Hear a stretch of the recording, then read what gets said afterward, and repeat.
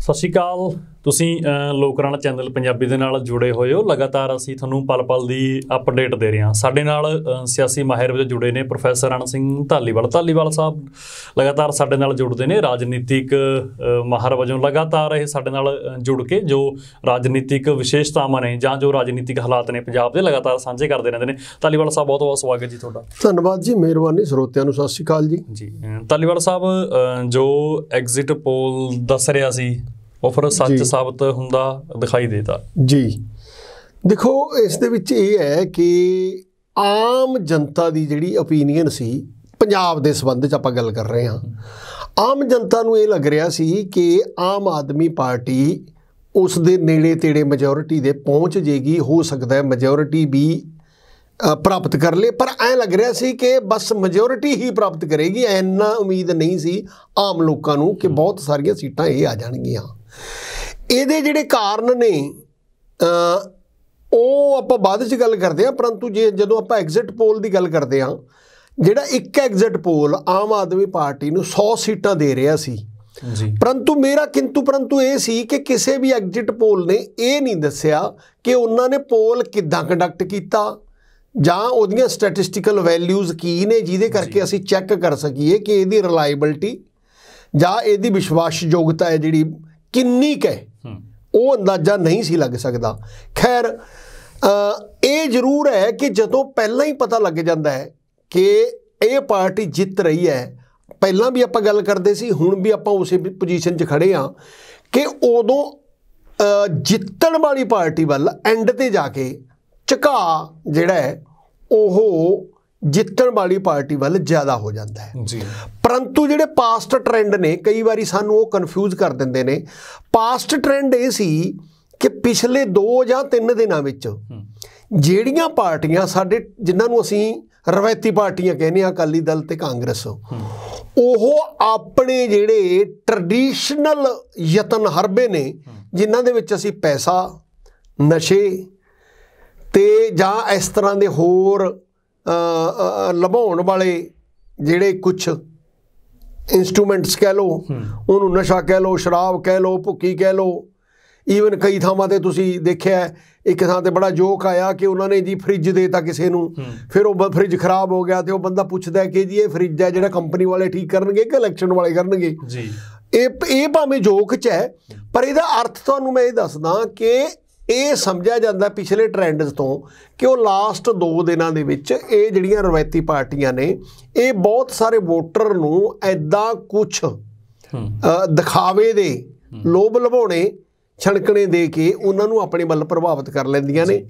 ਤੇ ਬਹੁਤੇ ਜਿਹੜੇ ਅੰਦਾਜ਼ੇ ਲੋਕ ਲਗਾ ਰਹੇ ਸੀ ਉਹ ਇਸੇ ਚੋਂ ਲਗਾ ਰਹੇ ਸੀ ਕਿ ਆਮ ਆਦਮੀ ਪਾਰਟੀ ਕੰਪੀਟੀਸ਼ਨ 'ਚ ਸੀਗੀ ਮੈਜੋਰਿਟੀ ਦੇ ਨੇੜੇ ਤੇੜੇ ਸੀ ਪਰੰਤੂ ਅੰਤ ਦੇ 2 ਦਿਨਾਂ 'ਚ ਇਹ ਜਿਹੜੀਆਂ ਰਵਾਇਤੀ ਪਾਰਟੀਆਂ ਨੇ ਇਹ ਆਪਣੇ ਯਤਨਾਂ ਨਾਲ ਕੁਝ ਪਰਸੈਂਟੇਜ ਵੋਟ ਨੂੰ ਆਪਦੇ ਵੱਲ ਲੈ ਆਉਣਗੀਆਂ ਜਿਹਦੇ ਨਾਲ ਆਮ ਆਦਮੀ ਪਾਰਟੀ ਮੈਜੋਰਿਟੀ ਦੀ ਬਜਾਏ ਹੋ ਸਕਦਾ ਹੈ 55 50 ਸੀਟਾਂ ਤੇ ਫਸ ਜਾਵੇ। ਇੱਥੋਂ ਤੱਕ ਹਾਂ ਹਨਾ ਗੱਲ ਬਣ ਜੂ ਹਾਂ ਆਮ ਆਮ ਇਹ ਸਮਝਿਆ ਜਾਂਦਾ ਸੀ।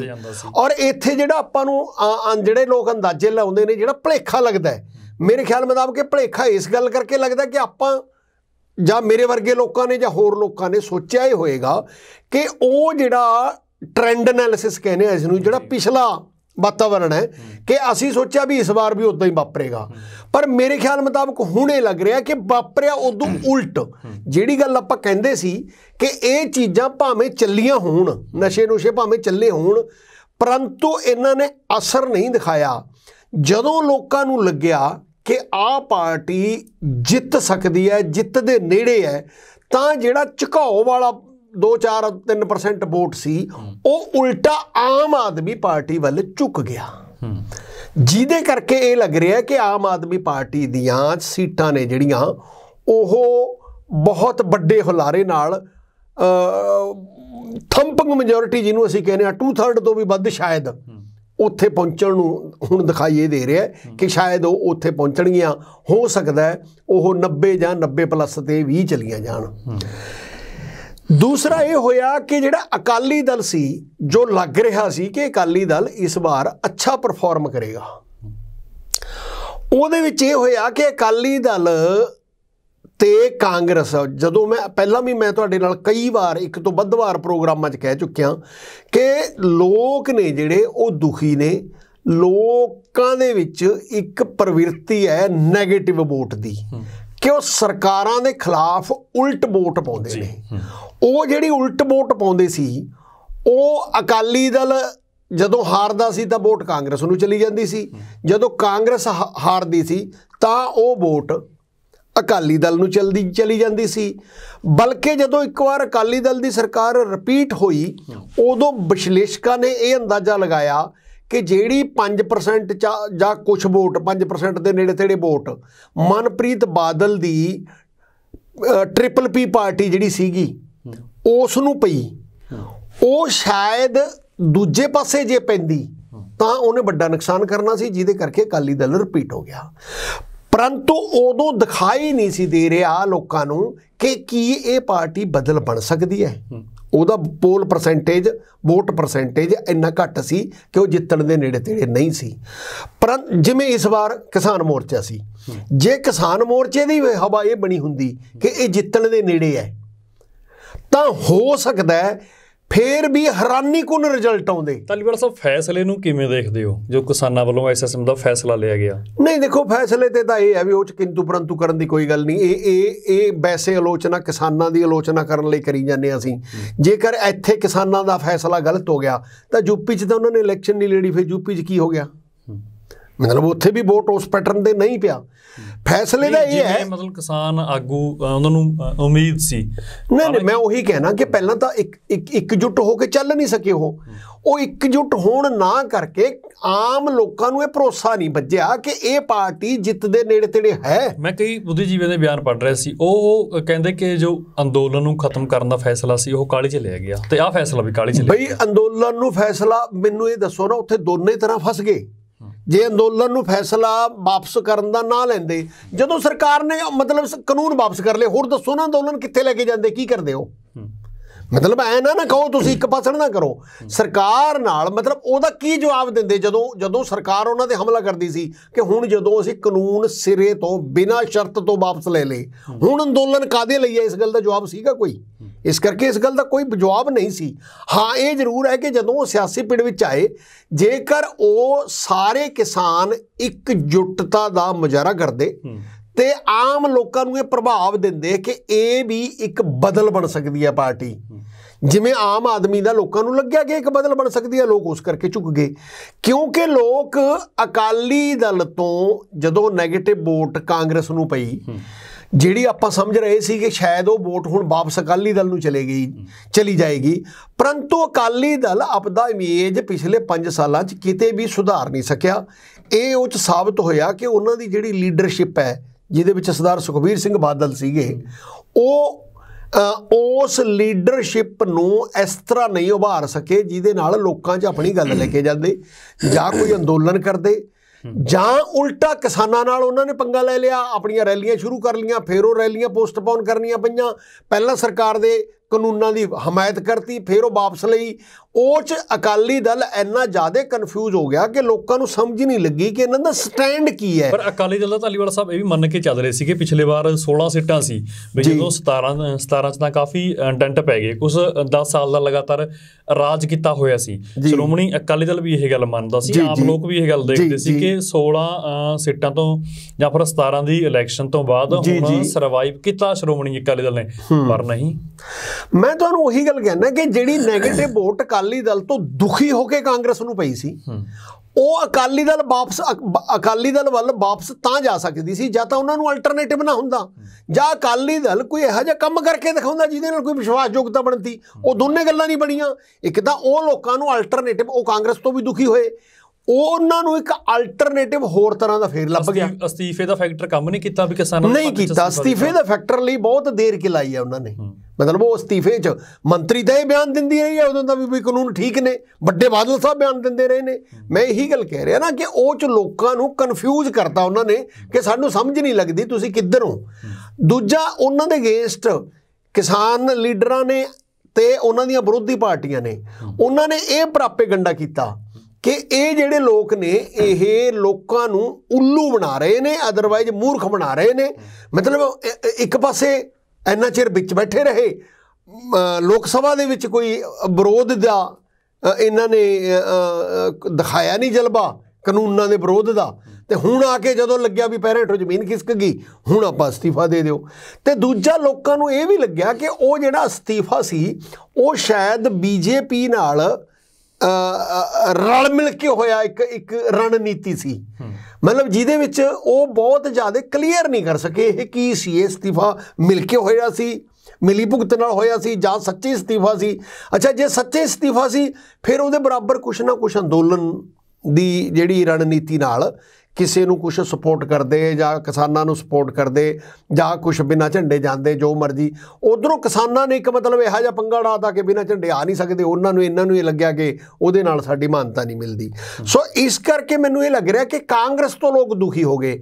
ਪਰੰਤੂ ਇੱਕ ਗੱਲ ਮੈਨੂੰ ਜ਼ਰੂਰ ਲੱਗਦੀ ਹੈ ਕਿ ਜੇਕਰ ਦੇਖੋ ਵਿਸ਼ਲੇਸ਼ਕ ਦੇ ਤੌਰ ਤੇ ਸਾਰੇ ਵਿਸ਼ਲੇਸ਼ਣ ਕਰਨਗੇ ਕਿ ਮਹਿੰਗਾਈ ਵੀ ਇੱਕ ਸੀਗਾ।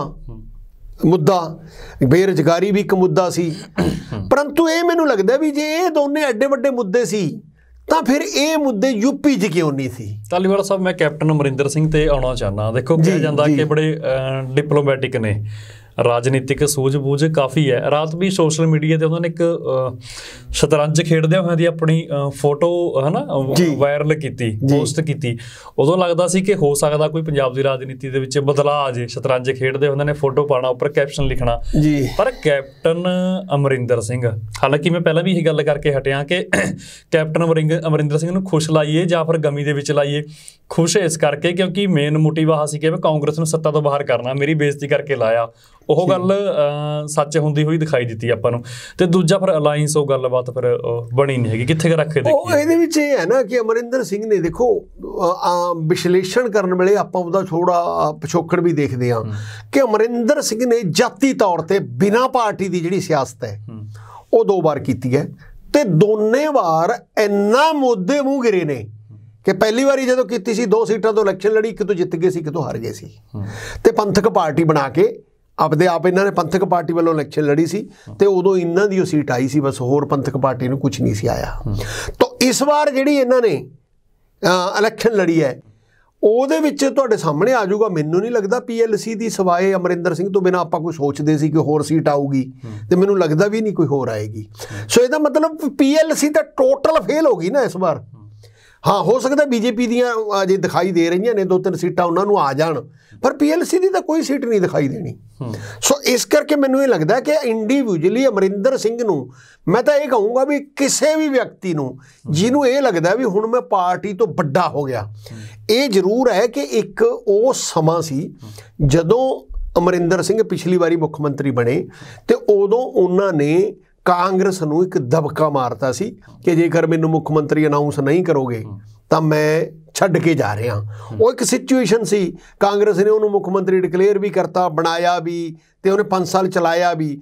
ਪਰੰਤੂ ਜਿਹੜੇ ਉਹ ਅਮਰਿੰਦਰ ਸਿੰਘ ਦੇ ਉੱਪਰ ਦੋਸ਼ ਲੱਗੇ ਉਹ ਦੋਸ਼ ਅੰਤ ਤੇ ਆਉਂਦੇ ਆਉਂਦੇ ਸਾਬਤ ਵੀ ਹੋ ਗਏ ਕਿ ਉਹ ਉਹਨਾਂ ਨਾਲ ਰਲ ਕੇ ਚੱਲ ਰਿਹਾ ਸੀ। ਸਾਬਤ ਦਾ ਮਤਲਬ ਇਹ ਹੋਇਆ ਕਿ ਜੋ ਜੋ ਕੁਝ ਐਕਟੋ ਨੇ ਕੀਤੇ ਜਿੱਦਾਂ ਦੇ ਐਕਸ਼ਨ ਐਂਡ ਤੇ ਆ ਕੇ ਉਹਨਾਂ ਤੋਂ ਇਹੀ ਲੱਗ ਰਿਹਾ ਕਿ ਇਹ ਸਾਂਝ ਪੁਰਾਣੀ ਸੀ।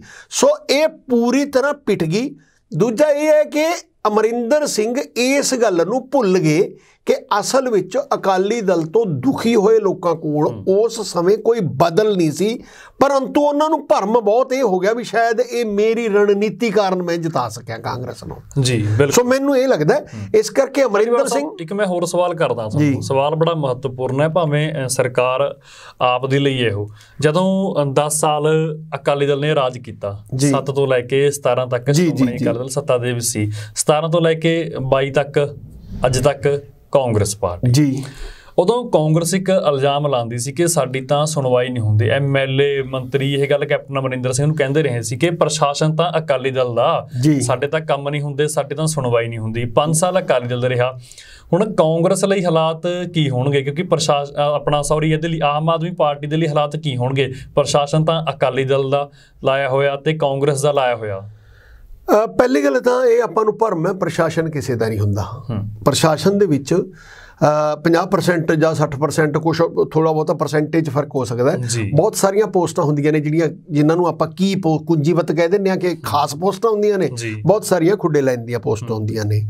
ਸੋ ਉਹਦੇ ਵਿੱਚੋਂ ਉਨੀ ਕਿ ਰਿਸ਼ਫਲ ਆਮ ਆਦਮੀ ਪਾਰਟੀ ਕਰ ਲੇਗੀ ਯੋਗ ਬੰਦੇ ਲੱਭ ਜਾਣਗੇ। ਇਹ ਚ ਇੰਪੋਰਟੈਂਟ ਇਹ ਹੁੰਦਾ ਪ੍ਰਸ਼ਾਸਨ ਦਾ ਕਿ ਮੁੱਖ ਮੰਤਰੀ ਜਾਂ ਉਹਦੀ ਕੈਬਨਿਟ ਸਨੇਹਾ ਕੀ ਦਿੰਦੀ ਹੈ? ਜੀ। ਜੇਕਰ ਉਹ ਇਹ ਸਨੇਹਾ ਦਿੰਦੀ ਹੈ ਕਿ ਆਪਾਂ ਇਮਾਨਦਾਰੀ ਨਾਲ ਚੱਲਣਾ ਹੈ। ਤੇ ਲੋਕਾਂ ਦੇ ਕੰਮ ਕਰਨੇ ਨੇ ਤਾਂ ਉਦਾਂ ਦੇ ਬੰਦੇ ਵੀ ਮਿਲ ਜਾਂਦੇ ਨੇ ਜਿਹੜੇ ਉਸ ਕਿਸਮ ਨਾਲ ਕਰਨੇ ਚਾਹੁੰਦੇ ਨੇ। ਜੇ ਉਹ ਸਨੇਹਾ ਇਹ ਦਿੰਦੇ ਨੇ ਕਿ ਤੁਸੀਂ ਮੇਰੇ ਮੁਤਾਬਕ ਚੱਲੋ ਜੋ ਮੈਂ ਕਹੂੰਗਾ ਤੁਸੀਂ ਉਹ ਕਰਨਾ ਹੈ ਉਦਾਂ ਦੇ ਬੰਦੇ ਵੀ ਲੱਭ ਜਾਂਦੇ ਨੇ। ਸੋ ਪ੍ਰਸ਼ਾਸਨ ਨੂੰ ਚਲਾਉਣਾ ਮੇਰੇ ਖਿਆਲ ਕੋਈ ਉਸ ਤਰ੍ਹਾਂ ਦੀ ਗੱਲ ਇਹ ਆਪਾਂ ਨਹੀਂ ਕਹਿ ਸਕਦੇ, ਪ੍ਰਸ਼ਾਸਨ ਬਿਲਕੁਲ ਬਦਲੇਗਾ ਨਹੀਂ। ਪ੍ਰਸ਼ਾਸਨ ਨੂੰ ਚਲਾਉਣ ਵਾਲੇ ਬੰਦੇ ਲੱਭ ਜਾਣਗੇ। ਇਹ ਨਿਰਭਰ ਕਰਦਾ ਹੈ ਕਿ ਜਿਹੜਾ ਆਮ ਆਦਮੀ ਪਾਰਟੀ ਦੀ ਲੀਡਰਸ਼ਿਪ ਹੈ, ਉਹ ਲੀਡਰਸ਼ਿਪ ਜਿਹੜੀ ਹੈ, ਉਹ ਕਿੱਦਾਂ ਦੀ ਸੋਚ ਲੈ ਕੇ ਚੱਲਦੀ ਹੈ ਕਿ ਉਹਨਾਂ ਨੇ ਕੀ ਕਰਨਾ ਹੈ। ਮੈਂ ਇਹਨੂੰ ਇਹ ਸਮਝਦਾ ਕਿ ਇਹ ਇੱਕ ਸਿਚੁਏਸ਼ਨ ਐਦਾਂ ਦੀ ਬਣੀ ਹੈ। ਮੈਂ ਜਾਤੀ ਤੌਰ ਤੇ ਕੀ ਫੀਲ ਕਰਦਾ? ਆਮ ਆਦਮੀ ਪਾਰਟੀ ਦੇ ਹੱਕ ਚ ਆ ਨਹੀਂ ਹੱਕ ਚ ਉਹ ਇੱਕ ਵੱਖਰੀ ਗੱਲ ਹੈ। ਪਰੰਤੂ ਵਿਸ਼ਲੇਸ਼ਕ ਦੇ ਤੌਰ ਤੇ ਜਦੋਂ ਆਪਾਂ ਵਿਚਾਰ ਕਰਦੇ ਹਾਂ ਉਦੋਂ ਇਹਦੇ ਵਿੱਚੋਂ ਇਹ ਗੱਲ ਜ਼ਰੂਰ ਨਿਕਲਦੀ ਹੈ ਕਿ ਜਿੱਡੀ ਵੱਡੀ ਜਿੱਤ ਆਮ ਆਦਮੀ ਪਾਰਟੀ ਨੂੰ ਮਿਲੀ ਹੈ। ਅ, ਜਦੋਂ ਬੀਜੇਪੀ ਇੱਕ ਨਵੀਂ ਪਾਰਟੀ ਬਣੀ ਬੀਜੇਪੀ ਨੂੰ ਇੱਕ ਸੂਬੇ ਚੋਂ ਦੂਜੇ ਸੂਬੇ 'ਚ ਜਾਣ ਵੇਲੇ 10 ਸਾਲ ਲੱਗ ਗਏ ਸੀ। ਪਰੰਤੂ ਆਮ ਆਦਮੀ ਪਾਰਟੀ ਇੱਕ ਸੂਬੇ ਚੋਂ ਦੂਜੇ ਸੂਬੇ 'ਚ ਪੈਰ ਧਰਨ ਲੱਗੇ 10 ਸਾਲਾਂ ਤੋਂ ਵੀ ਘੱਟ ਸਮੇਂ 'ਚ ਚਲੀ ਗਈ। ਇਸ ਵਾਰ ਉਹਨੇ ਯੂਪੀ 'ਚ ਵੀ ਇਲੈਕਸ਼ਨ ਲੜੀਆਂ ਨੇ, ਉੱਤਰਾਖੰਡ 'ਚ ਵੀ ਇਲੈਕਸ਼ਨ ਲੜੀਆਂ ਨੇ। ਉਹਦਾ ਪਤਾ ਲੱਗ ਜਾਏਗਾ ਕਿ ਆਉਣ ਵਾਲੇ ਸਮੇਂ 'ਚ ਉਸ ਤਰ੍ਹਾਂ ਦਾ ਉਹਨਾਂ ਨੂੰ ਰਿਸਪੌਂਸ ਕਿਹੋ ਜਿਹਾ ਮਿਲਿਆ। ਇਹ ਇਲੈਕਸ਼ਨਾਂ 'ਚ ਅੱਜ ਰਿਫਲੈਕਟ ਨਹੀਂ ਹੋ ਰਿਹਾ, ਲੇਕਿਨ ਕੱਲ ਨੂੰ ਪਤਾ ਲੱਗ ਜਾਏਗਾ ਕਿ ਉਹਨਾਂ ਦੀ ਪੋਲ ਪਰਸੈਂਟੇਜ ਕੀ ਰਹੀ। ਪੰਜਾਬ ਦੇ ਵਿੱਚ ਸਰਕਾਰ ਬਣਨ ਤੋਂ ਬਾਅਦ ਇਹ ਇੱਕ ਓਪਰਚੁਨਿਟੀ ਮੌਕਾ ਜ਼ਰੂਰ ਲੋਕਾਂ ਨੂੰ ਲੱਗੇਗਾ ਕਿ Aam Aadmi party national level ਤੇ ਵੱਡੀਆਂ ਪਾਰਟੀਆਂ ਦਾ ਬੀਜੇਪੀ ਜਾਂ ਕਾਂਗਰਸ ਦਾ ਇੱਕ ਬਦਲ ਬਣ ਸਕਦੀ ਹੈ। ਦੂਸਰਾ ਇਹ ਹੈ ਵੀ ਇੱਥੇ ਆ ਚਾਰੇ ਸੂਬਿਆਂ ਦੇ ਵਿੱਚ ਦੁਬਾਰਾ ਫਿਰ ਇਸ ਵਾਰ ਕਾਂਗਰਸ ਨੂੰ ਵੱਡੀ ਮਾਰ ਪੈ ਰਹੀ ਹੈ। ਇਹਦੇ ਵਿੱਚ ਮੈਨੂੰ ਇਹ ਲੱਗ ਰਿਹਾ ਹੈ ਕਿ ਆਮ ਆਦਮੀ ਪਾਰਟੀ ਜੇਕਰ ਜੀ। ਬਾਕੀ ਰੀਜਨਲ ਪਾਰਟੀਆਂ ਨਾਲ ਰਲ ਕੇ ਚੱਲਣ 'ਚ ਕਾਮਯਾਬ ਹੁੰਦੀ ਹੈ ਅਦਰ ਦੈਨ ਕਾਂਗਰਸ, ਤਾਂ ਹੋ ਸਕਦਾ ਹੈ ਇਹ ਵੱਡੀ ਵਿਰੋਧੀ ਧਿਰ ਬਣ ਕੇ ਉੱਭਰ ਆਵੇ ਤੇ ਉਹਦੇ ਨਾਲ ਹੋ ਸਕਦਾ ਹਿੰਦੁਸਤਾਨ ਦੇ ਵਿੱਚ ਇੱਕ ਨਵਾਂ ਬਦਲ ਪੈਦਾ ਹੋਵੇ। ਬਹੁਤ ਸਾਰੇ ਸ- ਸੂਬਿਆਂ ਦੇ ਵਿੱਚ ਬੀਜੇਪੀ ਦੀਆਂ ਸਰਕਾਰਾਂ ਨਹੀਂ ਹੈਗੀਆਂ, ਬਹੁਤ ਘੱਟ ਸੂਬਿਆਂ 'ਚ ਸਰਕਾਰਾਂ ਰਹਿ ਗਈਆਂ ਨੇ ਹੁਣ। ਆਉਣ ਵਾਲੇ ਸਮੇਂ 'ਚ ਮਹਾਰਾਸ਼ਟਰ, ਗੁਜਰਾਤ ਜਦੋਂ ਚੋਣਾਂ ਹੋਣਗੀਆਂ ਜਾਂ ਦਸੰਬਰ ਤੱਕ ਫੇਰ ਗੁਜਰਾਤ ਵਗੈਰਾ 'ਚ ਚਾਰ ਪੰਜ ਸੂਬਿਆਂ 'ਚ ਫੇਰ ਚੋਣਾਂ ਨੇ, ਕੀ ਬਣਦਾ, ਕੀ ਨਹੀਂ। ਇੱਕ ਗੱਲ ਇਹ ਹੋਈ ਕਿ ਯੂਪੀ 'ਚ ਵੀ ਜੋ ਦਿਖਾਈ ਦੇ ਰਿਹਾ ਹੈ ਕਿ ਪਹਿਲਾਂ ਨਾਲੋਂ ਬੀਜੇਪੀ ਦੀ ਪਕੜ ਢਿੱਲੀ ਹੋਈ ਹੈ। ਹੁਣ ਉਸ ਤੇ ਕ੍ਰਾਈਸਿਸ ਫੇਰ ਆਏਗਾ ਕਿ ਅਗਲਾ ਮੁੱਖ ਮੰਤਰੀ ਕੌਣ ਹੋਏਗਾ? ਬੀਜੇਪੀ ਦੇ ਵਿੱਚ ਇਹ ਸੰਭਾਵਨਾ ਹੈ ਕਿ ਅੰਦਰੂਨੀ ਯੂਪੀ ਦੇ ਵਿੱਚ? ਯੂਪੀ ਦੇ ਵਿੱਚ ਦਿਖਾਈ ਤਾਂ ਇਹ ਦੇ ਰਿਹਾ ਹੈ ਕਿ ਦੁਬਾਰਾ ਰਿਪੀਟ ਹੋ ਰਹੀ ਹੈ। ਬੀਜੇਪੀ ਦੀ ਸਰਕਾਰ। ਸਰਕਾਰ ਰਿਪੀਟ ਤੇ ਫਿਰ ਮੁੱਖ ਮੰਤਰੀ ਮੁੱਖ ਮੰਤਰੀ ਉਹੀ ਰਹੇਗਾ ਪਰ ਜਿਸ ਕਿਸਮ ਨਾਲ ਉਹਦਾ ਪਿੱਛੇ ਵਿਰੋਧ ਹੋਇਆ ਪਾਰਟੀ 'ਚ ਉਹ 'ਚ ਇਹ ਲੱਗਦਾ ਕਿ ਪਹਿਲਾਂ ਨਾਲੋਂ ਚੈਲੰਜ ਜ਼ਿਆਦਾ ਵਧ ਜਾਣਗੇ। ਕਿਉਂਕਿ ਪਿਛਲੀ ਵਾਰੀ ਵੀ ਤੁਸੀਂ ਦੇਖਿਆ ਇਲੈਕਸ਼ਨ ਤੋਂ ਪਹਿਲਾਂ ਬੜਾ ਜ਼ੋਰ ਲੱਗਿਆ ਕਿ ਮੁੱਖ ਮੰਤਰੀ ਬਦਲ ਲਿਆ ਜਾਵੇ ਪਰ ਨਹੀਂ ਬਦਲਿਆ ਗਿਆ। ਉਹ ਮੁੱਖ ਮੰਤਰੀ ਤਕੜਾ ਹੈ ਅੱਗੇ ਵੀ ਤਕੜਾ ਰਹੇਗਾ ਕਿ ਨਹੀਂ ਇਹ ਇਹ ਆਉਣ ਵਾਲਾ ਸਮਾਂ ਦੱਸੇਗਾ। ਸੋ ਆਉਣ ਵਾਲੇ ਸਮੇਂ ਦੇ ਵਿੱਚ ਦੂਜਾ ਇਹ ਆ 5 ਸਾਲਾਂ ਦੀ ਬਜਾਏ ਜਦੋਂ 10 ਸਾਲਾਂ ਦੀ ਐਂਟੀ ਇਨਕੰਬੈਂਸੀ ਹੁੰਦੀ ਹੈ। ਇੱਕ ਉਹ ਹੋਰ ਤਰ੍ਹਾਂ ਦੀ ਹੁੰਦੀ ਹੈ। ਅਗਲੀ ਗੱਲ, ਜਿਹੜੀਆਂ ਦੋ ਉੱਥੇ ਰੀਜਨਲ ਪਾਰਟੀਆਂ ਸੀ, ਜਿਹਦੇ ਵਿੱਚ ਮਾਇਆਵਤੀ ਦੀ, ਬਹੁਜਨ ਸਮਾਜ ਪਾਰਟੀ ਤੇ ਕਾਂਗਰਸ ਪਾਰਟੀ। ਉਹ ਬਿਲਕੁਲ ਹਾਸ਼ੀਏ ਤੇ ਚਲੀਆਂ ਗਈਆਂ ਨੇ। ਪਿਛਲੀ, ਪਿਛਲੇ ਸਾਲਾਂ ਨਾਲੋਂ ਉਹਨਾਂ ਦੀ ਪਰਫਾਰਮੈਂਸ ਹਲੇ ਰਿਜ਼ਲਟ ਵੈਸੇ ਆਉਣੇ ਨੇ, ਹਲੇ ਜਿਹੜੇ ਟ੍ਰੈਂਡ ਨੇ, ਉਹ ਟ੍ਰੈਂਡ ਇਹ ਦੱਸ ਰਹੇ ਨੇ ਵੀ ਸ਼ਾਇਦ ਪਿਛਲੇ ਸਮੇਂ ਤੋਂ ਉਹਨਾਂ ਦੀ ਜਿਹੜੀ ਪਰਫਾਰਮੈਂਸ ਹੈ, ਨੀਚੇ ਜਾਏਗੀ। ਤੇ ਜੇ ਉਹ ਪੋਲ ਪਰਸੈਂਟੇਜ ਉਹਨਾਂ ਦੀ ਘਟਦੀ ਹੈ ਹਾਸ਼ੀਏ ਵੱਲ ਨੂੰ ਜਾਂਦੀਆਂ ਦਿਖਾਈ ਦੇ ਰਹੀਆਂ ਨੇ, ਤਾਂ ਇਹ ਸੰਭਾਵਨਾ ਹੈਗੀ ਹੈ ਕਿ ਆਉਣ ਵਾਲੇ ਸਮੇਂ 'ਚ ਜੇ ਉੱਥੇ ਦੀ ਵਿਰੋਧੀ ਧਿਰ, ਜਿਹਨੂੰ ਆਪਾਂ ਸਪਾ ਕਹਿੰਦੇ ਆ ਉਹ ਤਕੜੀ ਹੋ ਕੇ ਲੜਦੀ ਹੈ। ਤਾਂ ਉਹਨੇ ਇੱਕ ਉਮੀਦ ਜਗਾਈ ਹੈ ਭਾਵੇਂ ਸਰਕਾਰ ਉਹਨਾਂ ਦੀ ਨਾ ਬਣੇ ਪਰ ਉਹ ਇੱਕ ਤਕੜੀ ਵਿਰੋਧੀ ਧਿਰ ਬਣਨ ਦੇ ਵੱਲ ਵਧੀ ਹੈ। ਪਰਸੈਂਟੇਜ ਜਿਹੜੀ ਪੋਲ ਪਰਸੈਂਟੇਜ ਕੱਲ ਨੂੰ ਪਤਾ ਲੱਗੂਗਾ ਕਿ ਕਿੰਨੀ ਕਾਈ ਹੈ ਪਰ ਉਹਨਾਂ ਦੀਆਂ ਸੀਟਾਂ 67 ਤੋਂ ਮੈਨੂੰ ਇਹ ਲੱਗ ਰਿਹਾ ਕਿ ਉਹ ਸਵਾ 100 150 ਦੇ ਨੇੜੇ ਤੇੜੇ ਸ਼ਾਇਦ ਲੱਗ ਜਾਣ। ਤੇ ਜੋ ਇੱਥੇ ਪਹੁੰਚ ਜਾਂਦੀ ਹੈ ਤਾਂ ਕੁਦਰਤੀ ਹੈ। ਜਿਵੇਂ ਬੀਜੇਪੀ ਬੰਗਾਲ 'ਚ ਕਹਿੰਦੀ ਹੈ ਨਾ ਵੀ ਪੋਲ ਪਰਸੈਂਟ ਤਾਂ ਸਾਡੀ ਵਧੀਆ ਅਸੀਂ ਹਾਰੇ ਨਹੀਂ। ਤਾਂ ਕੁਦਰਤੀ ਫਿਰ ਉਹ ਪਾਰਟੀ ਵੀ ਇਹੀ ਕਹੇਗੀ ਵੀ ਅਸੀਂ ਹਾਰੀ ਥੋੜਾ ਜੇ 67 ਤੋਂ ਅਸੀਂ 150 ਤੇ ਚਲੇ ਗਏ ਤਾਂ ਫਿਰ ਹਾਰੇ ਕਿਵੇਂ? ਸੋ ਇਸ ਕਰਕੇ ਇਹ ਗੱਲਾਂ 'ਚੋਂ ਲੱਗ ਰਿਹਾ ਹੈ ਕਿ ਆਉਣ ਵਾਲਾ ਸਮਾਂ ਇਸ ਤਰ੍ਹਾਂ ਦਾ ਹੈ ਕਿ ਪਾਰਲੀਮੈਂਟ ਦੇ ਵਿੱਚ ਜਿਹੜੀ ਵਨ ਸਾਈਡਡ ਮੈਜੋਰਿਟੀ ਹੈ ਇਹਨਾਂ ਦੀ ਬੀਜੇਪੀ ਦੀ ਉਹਨੂੰ ਸ਼ਾਇਦ ਚੈਲੰਜ ਕਰਨ। ਪਰੰਤੂ ਇਸ ਇਲੈਕਸ਼ਨ ਦੇ ਵਿੱਚ ਇਹ ਹੈ ਕਿ ਵੱਡੇ ਵੱਡੇ ਦਿੱਗਜ ਫਸੇ ਹੋਏ ਨੇ ਜਿਨ੍ਹਾਂ ਬਾਰੇ ਖਬਰਾਂ ਇਹ ਆ ਰਹੀਆਂ ਨੇ ਕਿ ਸ਼ਾਇਦ ਉਹ ਹਾਰ ਵੱਲ ਵਧ ਰਹੇ ਨੇ। ਉਹਨਾਂ ਦੇ ਵਿੱਚੋਂ ਪ੍ਰਕਾਸ਼ ਸਿੰਘ ਬਾਦਲ ਵੀ ਨੇ ਉਹਨਾਂ ਦੇ ਵਿੱਚੋਂ ਮਜੀਠੀਆ ਵੀ ਨੇ ਉਹਨਾਂ ਦੇ ਵਿੱਚੋਂ ਸਿੱਧੂ ਵੀ ਨੇ। ਅਜੇ ਗਿਣਤੀ 'ਚ ਹੋਰ ਪਤਾ ਨਹੀਂ ਕੌਣ ਕੌਣ ਫੇਰ ਦਿੱਗਜ ਜਿਹੜੇ ਚੜਨਗੇ ਔਰ ਇਹਦੇ ਨਾਲ ਹੀ ਇਹ ਗੱਲ ਸ਼ਰਤੀ ਹੈ। ਕਿ ਅਕਾਲੀ ਦਲ ਦੀ ਵੀ ਕਾਂਗਰਸ ਦੀ ਵੀ ਲੀਡਰਸ਼ਿਪ ਦੇ ਵਿੱਚ ਤਬਦੀਲੀ ਲਿਆਉਣ ਤੇ ਤਾਂ ਤੇ ਲੀਡਰਸ਼ਿਪ ਕੋਈ ਚੰਗੀ ਆ ਜਾਂਦੀ ਹੈ ਤੇ ਕੰਮ ਕਰਦੀ ਹੈ। ਕਾਂਗਰਸ ਦੇ ਵਿੱਚ ਧਾਲੀਵਾਲ ਸਾਹਿਬ ਜਿਵੇਂ ਪ੍ਰਧਾਨ ਨਵਜੋਤ ਸਿੰਘ ਸਿੱਧੂ ਲਾਏ ਗਏ ਉਹ ਫੈਕਟਰ ਵੀ ਕੰਮ ਨਹੀਂ ਕੀਤਾ। ਦਲਿਤ ਕਾਰਡ ਵਾਲਾ ਫੈਕਟਰ ਵੀ ਕੰਮ ਨਹੀਂ ਕੀਤਾ। ਇਸ ਤੋਂ ਬਿਨਾਂ ਜਿਹੜਾ ਇੱਕ ਹੋਰ ਫੈਕਟਰ ਜਿਹੜਾ ਮੈਨੂੰ ਇਹ ਲੱਗਦਾ ਵੀ ਅਕਾਲੀ ਦਲ ਤੇ ਕਾਂਗਰਸ ਨੂੰ ਬਹੁਤ ਜ਼ਿਆਦਾ ਭਾਰੀ ਪਿਆ ਜਿਹੜਾ ਫੈਕਟਰ ਇਹ ਸੋਚ ਹੀ ਨਹੀਂ ਰਹੇ ਉਹ ਪਿਆ ਮੁਲਾਜ਼ਮ ਮੁਹਾਜ ਮੁਲਾਜ਼ਮ ਮੁਹਾਜ ਤੇ ਪਿਛਲੀ ਵਾਰੀ ਜਦੋਂ ਅਕਾਲੀ ਸਰਕਾਰ ਹਾਰੀ ਆ ਉਹਨਾਂ ਨੇ ਵੀ ਮੁਲਾਜ਼ਮਾਂ ਨੂੰ ਜਾਇਜ਼ ਮੰਗਾਂ ਤੇ ਬਹੁਤ ਕੁੱਟਿਆ ਸੀ ਤੇ ਜਾਇਜ਼ ਮੰਗਾਂ ਤੇ ਇਹਨਾਂ ਨੇ ਵੀ ਬਹੁਤ ਕੁੱਟਿਆ। ਭਾਵੇਂ ਮੁੱਖ ਮੰਤਰੀ ਬਦਲ ਲਿਆ ਉਹਦੇ ਨਾਲ ਫ਼ਰਕ ਤੇ ਕੁਝ ਨਹੀਂ ਪਿਆ। ਮਤਲਬ ਉਹ ਐਦਾਂ ਦੇ ਲੋਭ ਲਵਾਉਣੇ ਵਾਦੇ ਯੂਨੀਵਰਸਿਟੀ 'ਚ ਕਹਿ ਗਏ ਜੀ ਅਸੀਂ ਇੰਨੀ ਗ੍ਰਾਂਟ ਦੇਤੀ ਪੈਸਾ ਕੋਈ ਨਹੀਂ ਦਿੱਤਾ। ਮੁਲਾਜ਼ਮ ਅਸੀਂ ਪੱਕੇ ਕਰਤੇ ਜੀ ਪੱਕਾ ਕੋਈ ਨਹੀਂ ਹੋਇਆ। ਜਿਸ ਤਰ੍ਹਾਂ ਲੇਡੀਜ਼ ਨੂੰ ਜਿਵੇਂ ਕੁੱਟਿਆ ਗਿਆ ਔਰ ਕੁੱਟਣ ਦੇ ਵਿੱਚ ਮੁੱਖ ਮੰਤਰੀ ਦੇ ਸਿਕਿਉਰਿਟੀ ਦੇ ਆਫੀਸਰ ਸਿੱਧੇ ਸ਼ਾਮਲ ਹੋਣ ਉਹਨਾਂ ਦੀਆਂ ਵੀਡੀਓਜ਼ ਵਾਇਰਲ ਹੋਈਆਂ ਨੇ। ਤੇ ਉਹਦੇ ਵਿੱਚ ਮੈਨੂੰ ਇਹ ਲੱਗਦਾ ਇਹ ਸ਼ਾਇਦ ਸਰਕਾਰ ਭੁੱਲ ਰਹੀ ਹੈ ਜਿਹੜਾ ਸਾਡਾ ਮੁਲਾਜ਼ਮ ਮੁਹਾਜ ਹੈ ਉਹ ਆਪਦੇ ਫੈਮਿਲੀ ਨੂੰ ਤੇ ਆਪਦੇ ਨੇੜੇ ਤੇੜੇ ਵਾਲੇ ਰਿਸ਼ਤੇਦਾਰਾਂ ਦੇ ਹਿਸਾਬ ਨਾਲ ਉਹ ਬਹੁਤ ਸਾਰੀ ਵੋਟ ਨੂੰ ਇਨਫਲੂਐਂਸ ਕਰਦਾ ਹੈ। ਇਹ ਫਿਰ ਬਦਲਾਅ ਦਾ ਉਭਾਰ ਹੈ। ਬਿਲਕੁਲ ਮੈਂ ਤਾਂ ਇਹੀ ਕਹੂੰਗਾ ਕਿ ਇਹ ਬਦਲਾਅ ਦਾ ਵਾਰ ਹੈ। ਤੇ ਇਹ 네ਗੇਟਿਵ ਵੋਟ ਹੈ ਵੀ ਜਿਹੜੀ ਸਰਕਾਰ ਨੂੰ ਤਾਂ ਹਰਾਉਣਾ ਹੈ ਇਸ ਵਾਰ। ਹੂੰ। ਇਹੀ ਹਾਲ ਅਕਾਲੀ ਦਲ ਦਾ ਹੋਇਆ ਸੀ। ਪਰੰਤੂ ਉਦੋਂ ਇਹ ਸੀ ਕਿ ਜਿਵੇਂ ਆਪਾਂ ਬਾਲ ਨੂੰ ਕਿੱਕ ਮਾਰਦੇ ਆ ਕੰਧ ਨਾਲ ਵੱਜ ਕੇ ਇੱਧਰ ਆ ਜਾਂਦੀ ਹੈ ਪਰ ਇਸ ਵਾਰ ਮੂਰੇ ਕੰਧ ਨਹੀਂ ਸੀ ਉਹ ਬਾਲ ਅੱਗੇ ਨਿਕਲ ਗਈ ਉਹ ਸ਼ਾਇਦ ਆਪ ਜਿਹੜੀ ਆਪ ਆਦਮੀ ਪਾਰਟੀ ਹੈ।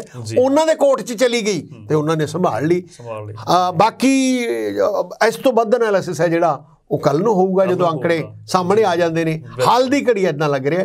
ਤੇ ਇਹਦੇ ਵਿੱਚ ਇੱਕ ਗੱਲ ਇਹ ਹੈ ਕਿ ਜਿਹੜੀ ਬਹੁਤ ਖਾਸ ਗੱਲ ਹੋਈ ਹੈ ਜਿਹੜੀ ਗੱਲ ਦਾ ਆਮ ਲੋਕਾਂ ਨੂੰ ਡਰ ਸੀ ਤੁਸੀਂ ਵੀ ਮੇਰੇ ਨਾਲ ਗੱਲ ਕਰਦੇ ਸੀ ਵੀ ਪੰਜਾਬ 'ਚ ਕਦੇ ਹੋਇਆ ਨਹੀਂ ਜੀ। ਵੈਸੇ ਸਰਕਾਰ ਹੈ ਜਿਹੜੀ ਬੜੀ ਕਲੀਅਰ ਕੱਟ ਬਣਦੀ ਹੈ। ਮਤਲਬ ਇੱਥੇ ਮੈਂ ਇਹ ਦਾਦ ਦਿੰਨਾ ਕਿ ਪੰਜਾਬ ਦਾ ਵੋਟਰ ਹੈ ਜਿਹੜਾ ਉਸ ਉਹ ਸਾਡੇ ਵਿਸ਼ਲੇਸ਼ਕਾਂ ਨਾਲੋਂ ਮੇਰੇ ਵਰਗਿਆਂ ਨਾਲੋਂ ਸਿਆਣਾ ਨਿਕਲਿਆ। ਇੱਕ ਫਿਰ ਝੁਕਦਾ ਇੱਕ ਪਾਸੇ ਸਾਰਾ। ਜਿੱਧਰ ਮਰਜ਼ੀ ਝੁਕੇ ਪਰ ਇਹ ਸਿਚੁਏਸ਼ਨ ਸੀਗੀ ਕਿ ਪੰਜਾਬ ਲਈ ਜੇਕਰ ਮਿਨੋਰਿਟੀ ਦੀ ਸਰਕਾਰ ਬਣਦੀ ਹੈ ਉਹ ਸਰਕਾਰ ਤੇ ਮੁੱਖ ਮੰਤਰੀ ਨੂੰ ਲਗਾਮ ਲਾਉਣਾ ਬਹੁਤ ਔਖਾ ਹੈ। ਉਹਦੇ ਨਾਲ ਕਰਪਸ਼ਨ ਰੋਕਣੀ ਜਾਂ ਕੋਈ ਚੰਗੇ ਕੰਮ ਕਰਨੇ ਉਹ ਹੋਰ ਔਖੇ ਹੋ ਜਾਂਦੇ ਨੇ ਇਸ ਕਰਕੇ ਅੱਜ ਦੇ ਦਿਨ ਤੇ ਆਪਾਂ ਲੋਕਾਂ ਨੂੰ ਵਧਾਈ ਦੇਈਏ ਮੇਰਾ ਖਿਆਲ।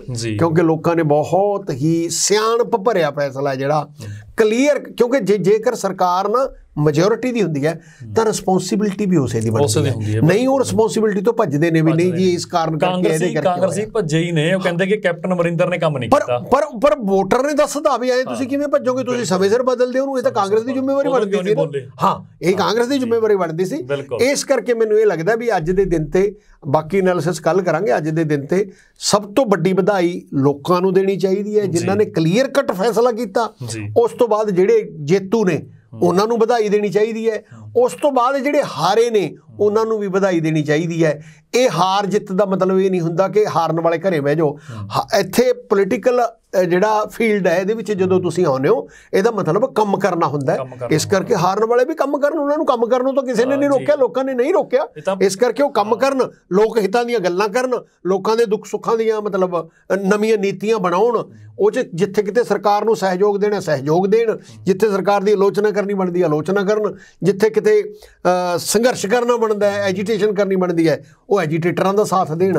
ਸੋ ਐਨੇ ਨਾਲ ਆਪਾਂ ਇਹ ਮੇਰਾ ਖਿਆਲ ਹੈ ਇਹ ਇਹ ਹੀ ਸੁਨੇਹਾ ਦੇਈਏ ਕਿ ਲੋਕਾਂ ਨੂੰ ਫੇਰ ਬਹੁਤ ਬਹੁਤ ਵਧਾਈ। ਹਾਂ ਨਹੀਂ ਬਿਲਕੁਲ ਦੇਖੋ ਕਹਿਣਾ ਸਿਆਣ ਦੇ ਕਿਹੜਾ ਕੁੰਭ ਦਾ ਨਹਾਣਾ ਕਿ 12 ਸਾਲ ਬਾਅਦ ਆਣਾ 2 ਸਾਲ ਬਾਅਦ ਮੈਂਬਰ ਪਾਰਲੀਮੈਂਟ ਦੀ ਖੜੀਆਂ ਨੇ ਬਿਲਕੁਲ ਜੀ, ਬਿਲਕੁਲ। ਤੇ ਫਿਰ 5 ਸਾਲ ਬਾਅਦ ਵਿਧਾਨ ਸਭਾ ਦੀਆਂ। ਧਾਲੀਵਾਲ ਸਾਹਿਬ ਬਹੁਤ ਬਹੁਤ ਸ਼ੁਕਰੀਆ। ਬਾਖੂਬੀ ਨਾਲ ਬਿਆਨ ਕੀਤਾ ਤੁਸੀਂ। ਦੋਸਤੋ ਸਾਡੇ ਨਾਲ ਜੁੜੇ ਹੋਏ ਸੀ ਸਿਆਸੀ ਮਾਹਿਰ ਪ੍ਰੋਫੈਸਰ ਰਣ ਸਿੰਘ ਧਾਲੀਵਾਲ।